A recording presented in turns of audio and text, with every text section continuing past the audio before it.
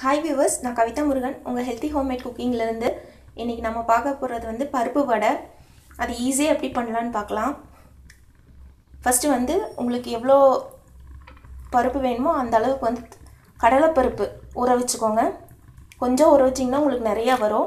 So அதுக்கு தகுந்த மாதிரி உங்களுக்கு எவ்வளோ வடை வேணுமோ அதுக்கு தகுந்த மாதிரி நீங்கள் பருப்பை ஊற வச்சுக்கோங்க. கடலைப்பருப்பை ஊற வச்சுக்கோங்க.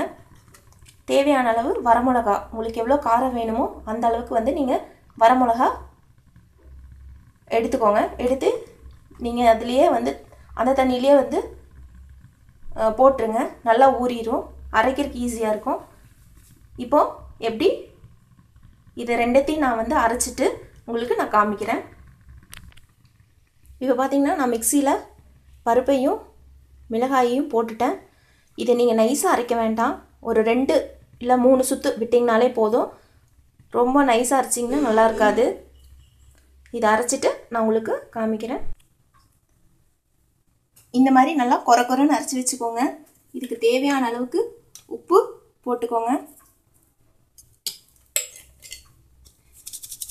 இது வந்து கடலைப்பருப்புனுங்காட்டி கொஞ்சமாக பெருங்காயம் யூஸ் பண்ணிக்கோங்க.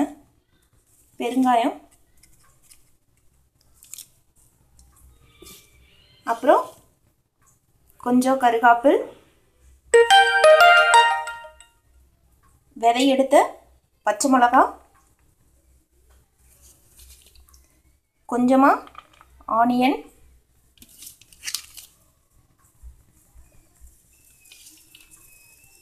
கொத்தமல்லி.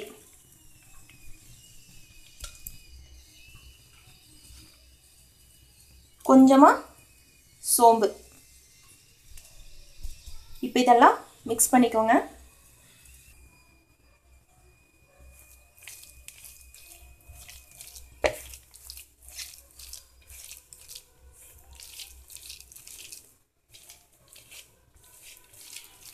நீங்கள் பருப்பில் தண்ணி ஊற்றி அரைச்சிடாதீங்க.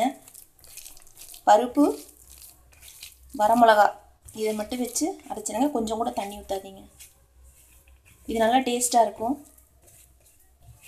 ஈஸியாக பண்ணிடலாம்.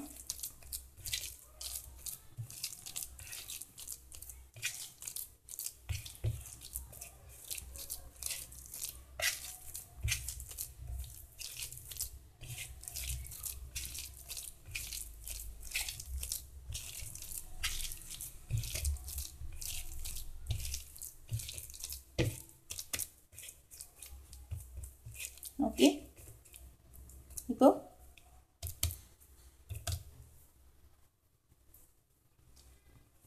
உப்பெல்லாம் செக் பண்ணிக்கோங்க கரெக்டாக இருக்கான்னு. இப்போது அடுப்பில் வந்து சட்டி வச்சு அதுக்கு எவ்வளோ தேவையோ அந்த அளவுக்கு நீங்கள் எண்ணெய் ஊற்றிக்கோங்க எண்ணெய் ஊற்றி இந்த மாதிரி பண்ணி உள்ளே போட்டுருங்க. இப்போ இந்த மாதிரி உருண்டை பிடிச்சி இப்படி தட்டினிங்கனாலே உங்களுக்கு வந்துடும் இது மாதிரி போட்டுக்கோங்க.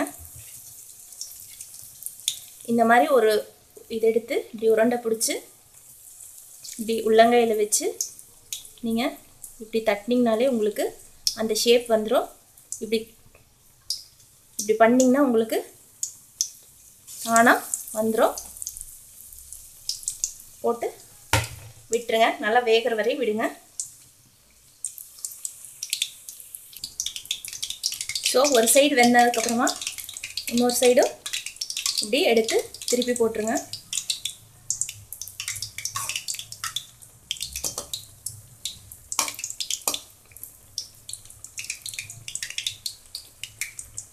நல்லா வேகட்டும். ஆல்மோஸ்ட் குக் ஆயிடுச்சு.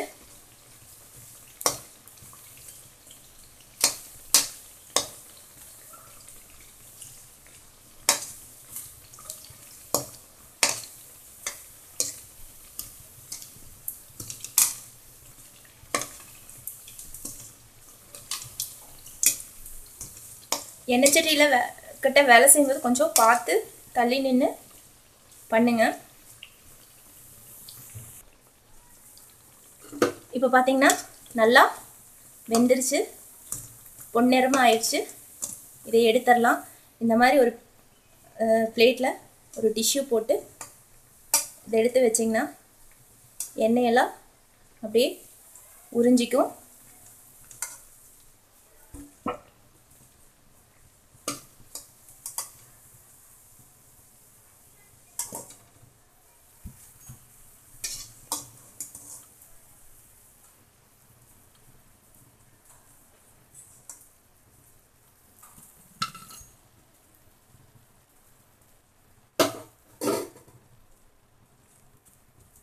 நல்லா கிறிஸ்பியாக இருக்குது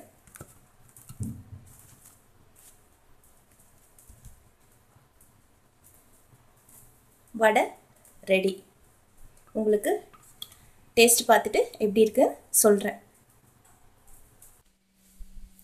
ஸோ இப்போது நான் சுட்டுட்டேன். இப்போ நான் உங்களுக்கு டேஸ்ட் பண்ணி காமிக்கிறேன்.